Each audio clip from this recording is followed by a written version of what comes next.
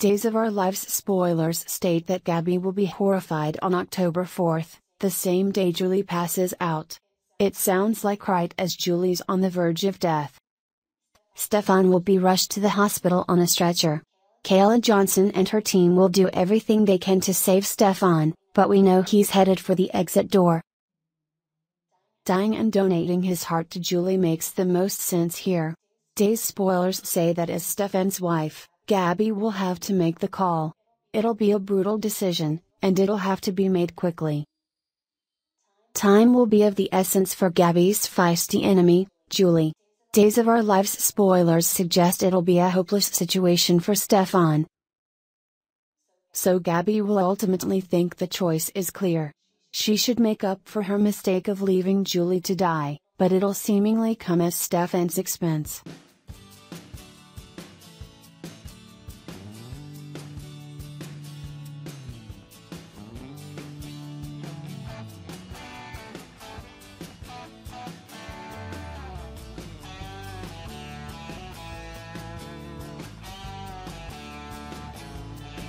While, Dr. Rolf will end up saving Kate's life. Kate's been mixed up with the DiMera clan for years, so Dr. Rolf may do it out of loyalty. The point is Kate will survive and once again leave Julie without any options. Things will grow increasingly dire as Julie bids her own loved ones farewell through dying wishes. She'll also share some touching moments with the love of her life.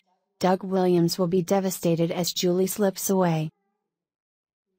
They'll reminisce together just before Julie loses consciousness, so Doug may feel like this is the end of the road. However, hope will arrive soon enough, most likely in the form of bleeding Stefan DiMera. Thanks to Lani Price's on duty blunder, there's a good chance Stefan will face a severe gunshot wound. The good news is the bullet will apparently miss Stefan's heart.